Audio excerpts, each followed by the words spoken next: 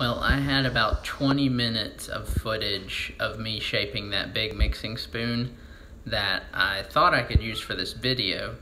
However, after about 10 seconds, I picked the spoon up out of the frame and for 20 minutes, I worked with that spoon completely out of the frame where you couldn't see it. So I'll show you a tiny clip of me just being a dummy.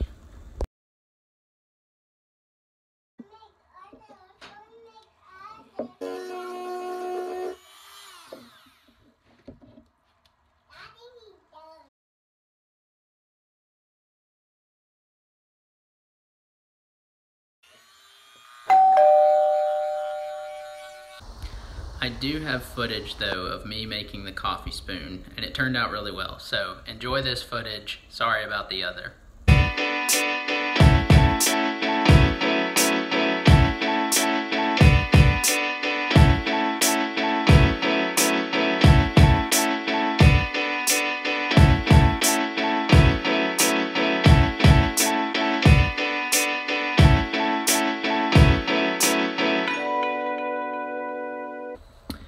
Guys, welcome into the shop. Uh, I am here, got my new Star Wars Auburn sign up, which looks pretty awesome. Uh, I am really excited because the weather is finally cooling off, which means I can wear a long sleeve and not sweat to death out here.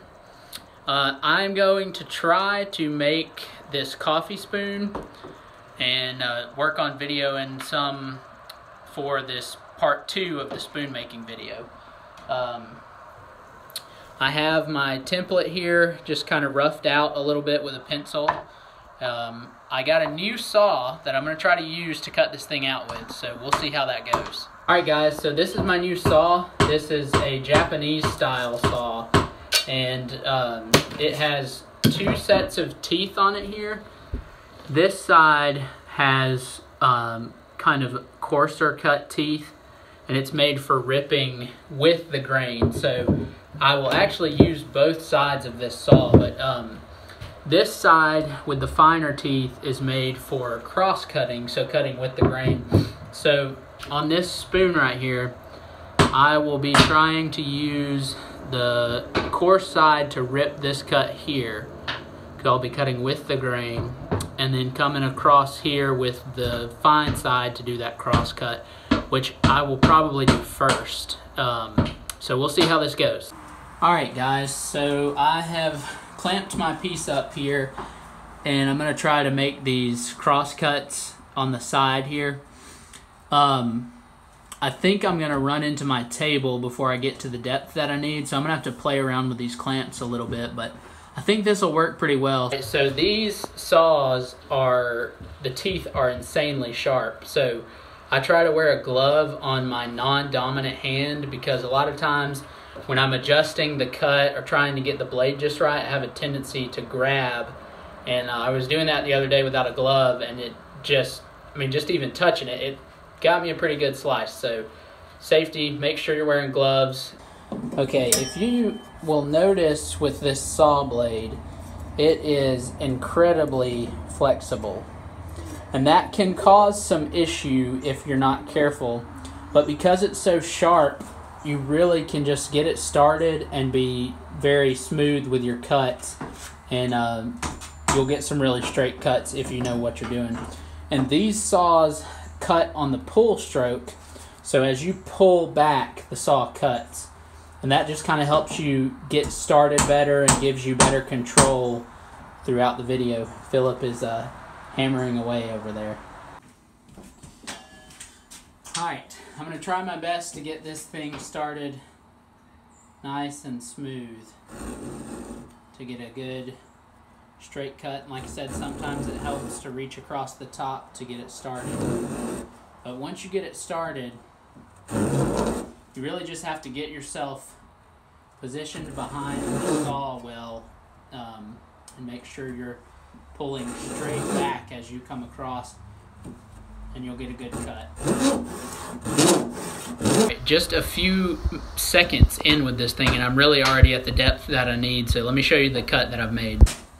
So you can see there I've ripped it down about the depth that I need or cross cut it, and then I'm going to come through and rip that line to connect the two and knock that piece out. But you can see, if I can get it to focus, that cut is very clean.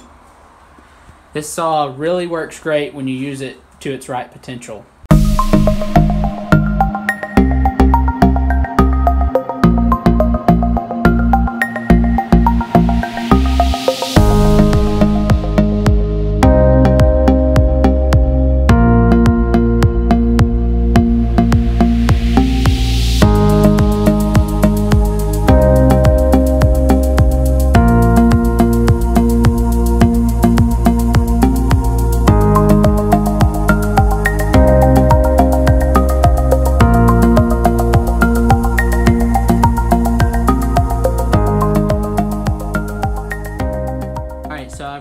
Down this first side uh, and it worked out pretty well.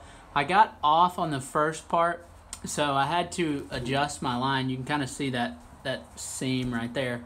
Um, but I'll clean that up and it shouldn't be a problem. So I'm going to try to really make sure I get this second side really straight and clean.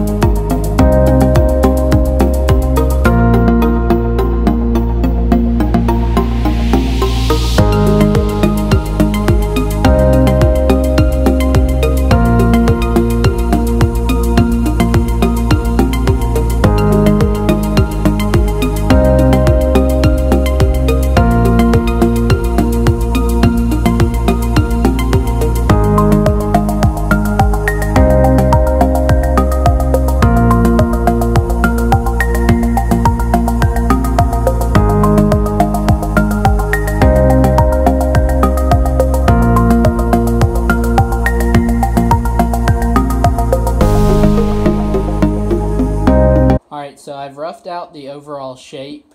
Um, now I'm going to work on rounding the edges and uh, I'm going to use this to do that because it just makes it quick. But uh, getting pretty close on the shape and then I will cut the bowl out and then cut it in half. Um, hopefully I haven't cut too much material off to be able to work the piece. Um, we'll see. Alright, here's the, the, coffee scoop I've been making. Uh, I've done a really bad job of videoing this.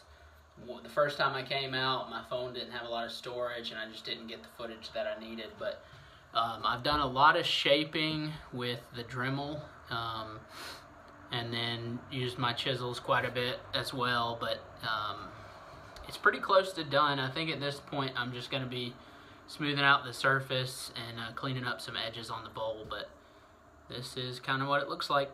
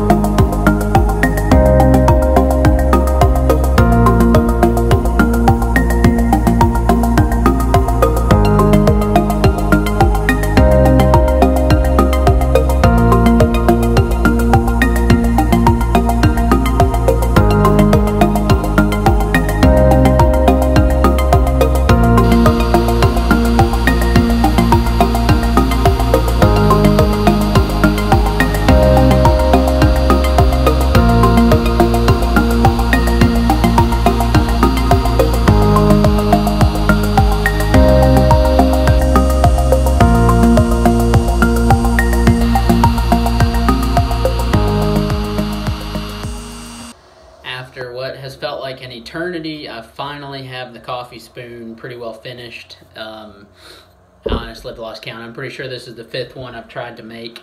The biggest difference um, in this one turning out so well was this saw right here. I was trying to make, to cut out my shape with a combination of a skill saw and a vibrating saw and I just couldn't get the precision that I needed. I would end up with a crack or something. But, anyways, um, I have sanded this thing like crazy, um, and it's pretty well finished. I'm gonna put some mineral oil on it, I think, to finish it. And uh, yeah, I'm really happy with how it turned out. It looks looks pretty awesome. I finished it with mineral oil, and then I added a little logo here um, which is backwards when you look at it from the camera, but it's uh, the correct way when you turn the spoon backwards. But anyways, uh, just added the initials of Capital Grain Woodworking there. This is made out of black walnut, and uh, I'm really happy with how this turned out. I think it was a, a really difficult project to start with because I really didn't have the right tools, but overall it turned out really well. It's roughly about a tablespoon. That's the size of the scoop I use to mark, mark everything out. So I think it actually holds a little bit more because I made the bowl a little deeper. But um, anyways, this is it. I think it turned out really, really well. If you made it to the end of this video, you are awesome. I am actually giving away this coffee spoon. Somewhere in this video, I have hidden a clip of me shouting out a random number and I'm going to give this coffee spoon to the first person who can find that number and direct message me on either Facebook or Instagram the correct number from the video. Whoever is the first to get that to me, I will get your info, I'll ship the spoon to you for free, and it will be yours. So, watch the video, go find that number, and then send it to me in a direct message on Facebook or Instagram, and the spoon is yours. Thanks again for watching this video. Have a great one.